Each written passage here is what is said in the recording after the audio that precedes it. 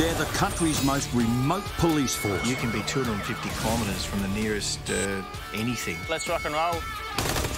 Patrolling over a million square kilometres of the world's most unforgiving landscape in Australia's toughest conditions. The weather here is beautiful. They keep the peace. It looks like it's starting to get out of control. Without losing their cool. Just doing our job. Territory cops. Go. Tonight. Come to the front door and open it now. Chasing down a serial car thief. Just done the bolt from a stolen car. But the biggest challenge, not getting eaten. Just get your licence available, mate. An early morning RBT. It's just unbelievable. Leaves police scratching their heads. It's one of those only the territory moments. And chaos and confusion at the kebab shop. I didn't say nothing. My boyfriend didn't say nothing. I was like, well, what the f- are you doing standing here next to me and your boyfriend's over there talking shit, Bill? For cops like Seamus Christie Johnston, being called tough comes with the territory. But calling pretty, well, that's a whole different story. My nickname, I've never had the nickname Pretty Boy in my entire life. Who's winning? Is it Pretty Boy? I've got a sneaking suspicion that it might have been the boss who's thrown that one out there. I think he's just trying to stitch me up. I know the territory well. I consider myself a local. I've been here for 17 years. Flinny, can you make an assessment? If you've got enough units, move in and make the arrest. Policing is addictive. Boom! I live it and I breathe it, and I think that's one of my strengths. Once I've got a target, I won't stop until I've got them. Negative. Do not let him get back in the car. Ray, give me a better location. Through here. I just love it. I love the thrill of the chase. Let's rock and roll. And today's case might just give this thrill seeker another hit. Seamus, teaming up with Steve Flynn, is being called to check out a torched car in remote bushland just outside of Darwin. Three weeks ago, there was a military family that had their house broken into. Um, they had their brand new Nissan Navara utility stolen. That hasn't been seen since. Now, as a result, they've gone and hired a, a car, this Holden Commodore. Two weeks later, the offenders have broken back into their house and stolen this car. You can see the number plate down here. The last two letters match up. Kilo Foxtrot. They've set it ablaze. It's completely destroyed. Pretty frustrating, though. Have your car stolen, and then two weeks later, they break back in and steal the hire car. The good news is the guilty party doesn't seem to be the brightest spark. They've stolen uh, purse and credit cards. They've used that credit card at about five different businesses around Darwin. Now, we've gone and got the CCTV footage of the offenders using the credit card. We released it to the media to try and identify the person. But we've had a Crime Stoppers report identifying the person on the CCTV footage. That person is Frank Ingram.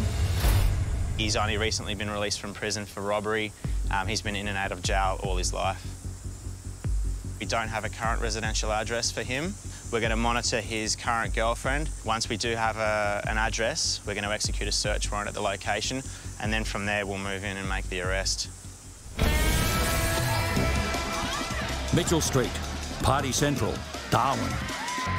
Sergeant Drew Slape and Constable Lachlan Sevior are about to get a taste of local culture in a kebab shop. What the hell's going Hands down. Shoot. Hands down. The footwear is flying, but the City Safe team arrived too late to see what's happened. I've been a police officer for uh, almost 10 years and I'm still learning every day about the best way to approach situations. What's going on? Come over in the corner over here. When we first arrived, the scene was aggressive, it was hostile. There was obviously a lot of tension in the air, a propensity for violence, which was already in swing. Do you know who she is? No idea who that woman is. No idea? It shouldn't be too hard to get an accurate picture, should it? Don't spew in here. Come outside.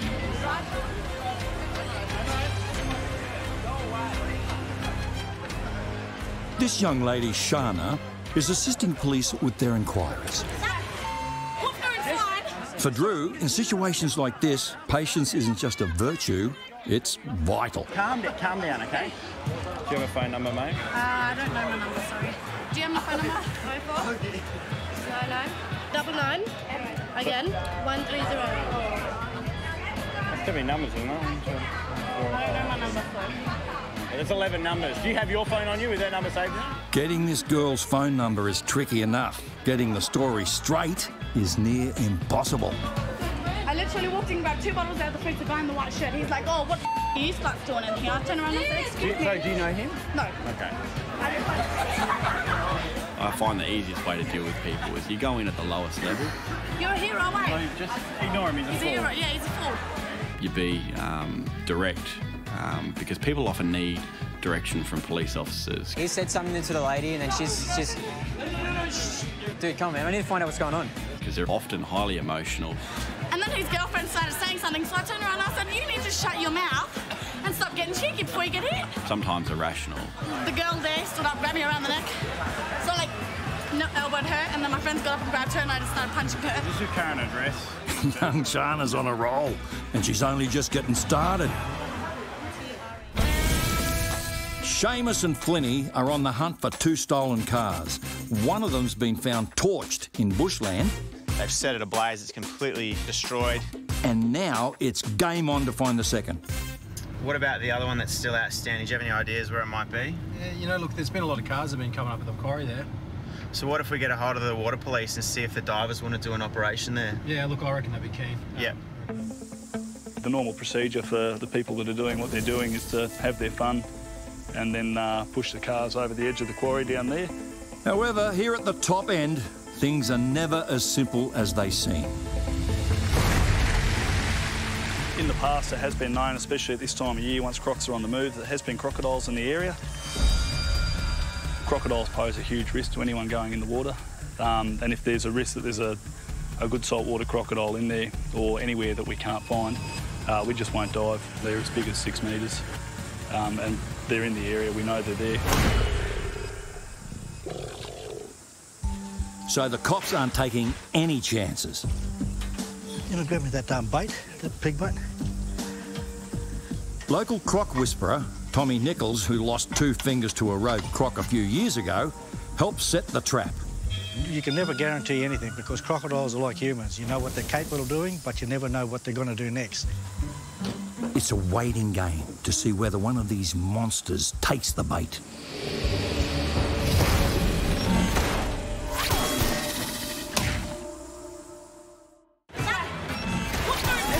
Back in Mitchell Street, Drew and the city safe team are still trying to bring peace to the kebab shop. Wait, all he tried to do was stop her from hitting my girlfriend. That's all. That's So she started on you first. And she got up and stopped me, walked up to the counter like a big man hero. Go away. You're in a public place, you're drunk, you can't control yourself. Go away. Jerk, mate. Unfortunately, I find that the longer police stand still, especially with the fluoro vests, we seem to be a target for fools. Hey, Mum, I'm on your TV. Not that there are any fools at the kebab shop, of course. I was like, seriously, go away because you've got nothing to do with this. Push one, push on it, and then they got me, and then all three. And then she grabbed me around, around the neck because I went up to her boyfriend. I was like, shut your mouth. And then I'm down here, and then hit me. Excuse me, I didn't say nothing. My boyfriend didn't say nothing. I was like, well, what the are you doing standing here next to me and your boyfriend's over there talking shit to him? Why do you got to get up when your boyfriend's sitting there talking shit to girls? And then she's chopping shoes. All right, no, just wait here for me, please. Time for the cops to compare notes and for Shana to entertain her newfound audience. So the, the lady in the bin that's outside, she, she came in. Any location where you have a group of people congregating, you've got an increased risk of there being conflict. So which one is the one who started fighting with you? Out the front of licensed premises, um, dining venues, uh, and taxi ranks. They're the three big ones. That's yours? My other one in there. Yeah, I'll have a look. Nice high heels, right? Very nice. Along with me. For Drew, there are some mysteries that just can't be solved. They've said you've started the fight. Just listen, just listen. You've said that they've started the fight, so we've got a conflicting version of events, okay? So what I'm going to do is I'm going to give you a reference number. When you're sober, if you want to make a complaint of assault or anything like that, you can come into the station, quote that number, and we will follow up accordingly. Okay? Thank you. No worries. And out of all the chaos and confusion, a moment of clarity. I got punched in the face. Hey, that's the one chick that did it.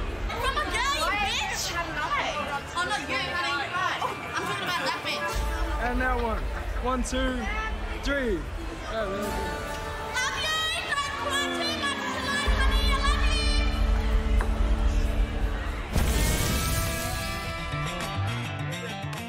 Seamus and Mark Dazzoni are travelling to a local quarry searching for a stolen car. Oh man, there's no doubt that car thieves are throughout Darwin. We probably have cars stolen every single night, and yeah, it's just a never-ending battle. But I mean, we're not going to give up. It's our job. The dive unit has called for backup from local croc expert Tommy Nichols. I can't say that I've got too many phobias, but crocodiles is definitely one. We've been to jobs where people have been taken by crocs and then seen the bodies where they've been cut out, and it's not pretty, and it, yeah, definitely puts the fear into you. Senior Constable Rowan Wake heads up the dive team. Uh, we've got crocodiles in the water up here that grow well in excess of five to six metres. It's risk versus reward, I guess. So I'm very confident that simply because of the fact that there's been no crocodiles in that trap, there's also no crocodiles uh, in this waterway. Fingers crossed. Obviously down there, there's there's no coral reef, there's no Nemo. It's uh, fairly unpleasant down there. Even your partner can't see what you're doing. It's not long before they snag their first catch of the day. Yeah, it's stolen. Yeah, definitely stolen. Definitely stolen. Yeah, definitely stolen. Still no sign of the missing Nissan, but could this discovery be the breakthrough? How'd you go? Morning, how are you? Senior Constable Sarah Hutchison may not be a Territorian, I'm not from the Territory.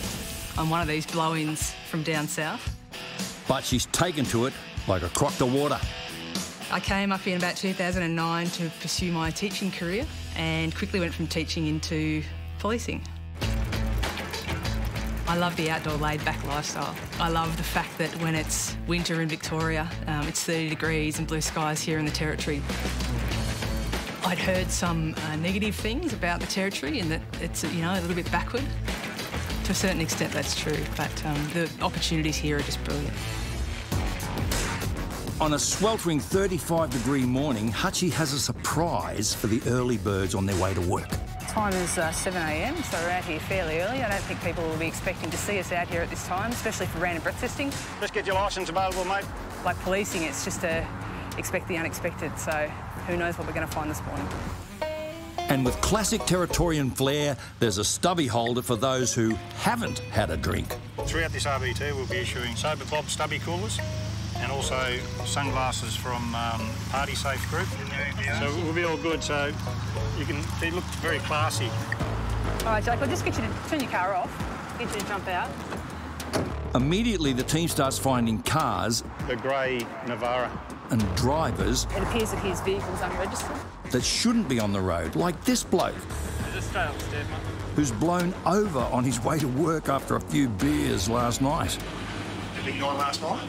Oh, I had a few. Oh, well over half a dozen. It would be more like a dozen. He's one of those drivers who had a big night the night before and woke up this morning thinking that he was under the limit when he was by far not under the limit. It's not a good start to the morning, not for the NT public. Uh, we're hoping that this uh, slows down a little bit throughout the morning. And just as there's a glimmer of hope, Hutchie stumbles across a driver making a conspicuous effort to get himself arrested. That's just unbelievable. It's wooden. Wood. I've never seen anything like it. Back at the quarry, the dive team have found a possible clue. How'd you go? It's a license plate from a stolen car, Yeah, it's stolen. Definitely stolen. Definitely stolen. Just not the one they're after.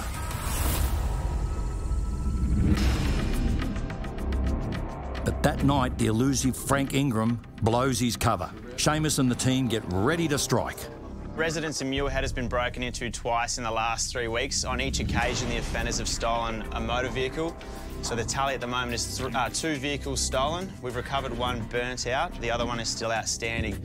Frank Ingram has been identified as one of the offenders. Uh, he was captured on CCTV footage in one of the stolen cars, and he was using a stolen credit card. He's got some serious explaining to do. When you're chasing someone for an extended period of time, you sort of have to start thinking the way they do. A lot of these guys are actively avoiding police, so I'll do my best to get him locked up and put in prison. 107, radio check. With Senior Constable Jennifer Pocock at the wheel, the team head out with two search warrants. Jen and I have worked together since we were like 20 years old. Fight all the time, but when the job's on, we usually get it done pretty well. Oh, I'm in the presence of greatness, what can I say? I'm just going to sit in the back seat and take it all in. Maybe one day I'll be as good as them. Hey, mate, don't hate us because you ain't us. Maybe not. They hit target one, Frank's girlfriend's house. Police, come to the front door and open it now. We're looking for Frank. Clear. Oh my goodness, what's he done? Unless he's joined Australia Post, There you go. Frank has more explaining to do. Seamus? Yes. Hey. Is that which person? They're all different people. We've located a number of letters that we think might be stolen. Uh, they're in the names of probably 10 different people, so we're going to seize those items as well. And there's more. I Found the shoes. I believe those they're the identical to the footage. The shoes match footage of Frank in a service station using the stolen cards. The cops are closing in. We'll continue with the search warrant. Once we've completed it, we'll reassess, hopefully locate him and arrest him. Boom! Coming up, Knew it. Seamus and the team get their man. This way. At an early morning RBT, Both Greek painters, I think, on their way to work. a bodgy DIY job Check out his front number plate. It's wooden. has the cops scratching their heads. Wood. I've never seen anything like it. No, not okay. Okay, not, not like that. You need to take that off. So that in itself, along with the L plates, sort of rings alarm bells. And if the plates sort of ring alarm bells, they ring even louder when the cops see beer cans everywhere and smell the driver's breath. You might be all right, you may not be, because I can smell alcohol. I can still smell it, yeah. Hold it, big deep breath, and blow till I say stop. Blow, blow, blow, keep going, keep going, keep going, keep going, and stop. Thank you. If you're on a learner's licence, means you've got to be on zero. So your .43 shouldn't be that, it's almost .05. This chap, yeah, unfortunately, he'd had a bit of a night out last night, finished at midnight, coming to work this morning. He's, he reeks of alcohol, and unfortunately, he's, he's blown over. George, you're all good. And looks like the homemade number plate wasn't the only bad decision.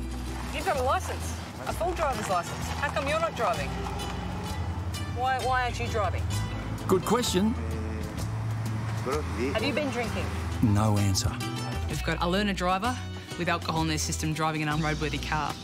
The driver is charged and his car defected with a long list of repairs. Look, I'm, I'm all for doing it yourself, but um, when it comes to number plate on cars, it's no go, unfortunately. Yeah, you can't make your own number plate. It's got to be one from MVR. I appreciate you trying, but unfortunately you can't do that. Right, let's go. Seamus and the team are hot on the heels of a car thief. We're looking for Frank. And now they think he's hiding out at his mum's place. So we're at uh, Ingram's parents' place. We're going to have a chat with them and see if they know where he's been staying at since he moved out of his ex-girlfriend's place. Hello, sorry to bother you, police. Hey, um, you're Frank's mum, is that right? Yeah. Yeah, we're looking to catch up with him. Is he here? No, he stays at Parkton. Very keen to catch up with him. Yeah, so hopefully I get to do it in the next couple of days. 107 mobile clear. As they head out, finally the breakthrough they've been waiting for.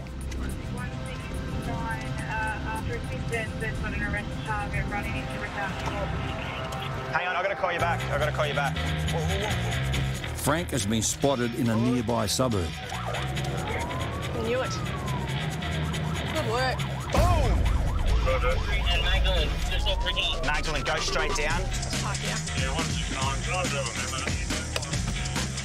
3041. Ray, give me a better location. This way. The other unit is wearing a blue t-shirt. Through here. Grey knee length shorts. We got uh, Frank Ingram in custody. Boom. Boom. Got our boy.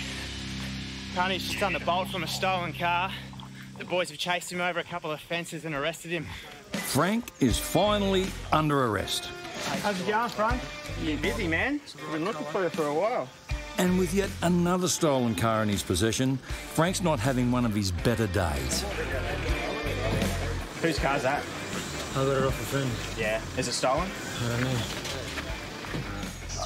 Oh, what the f Yeah, happy days. I'm pretty stoked about it. We've been in and out of the car all day, sweating it up every single time we get out of the car.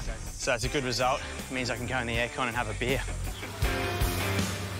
Which is what Frank won't be doing as he's spending the next six weeks in the slammer. Mikhail, the thirsty painter, was fined 500 bucks and disqualified from driving for three months. And as for the case of the flying shoe in the kebab shop, despite the carry-on, no complaints were made. Next time on Territory Cops. Search! Bearing it all for the law. A wild leap stops a thief, Righto, let's roll. but leads to a Darwin dealer. Oh, mate, you're under arrest for indecent behaviour. And Mitchell Street's greatest actor tries his luck. Oh!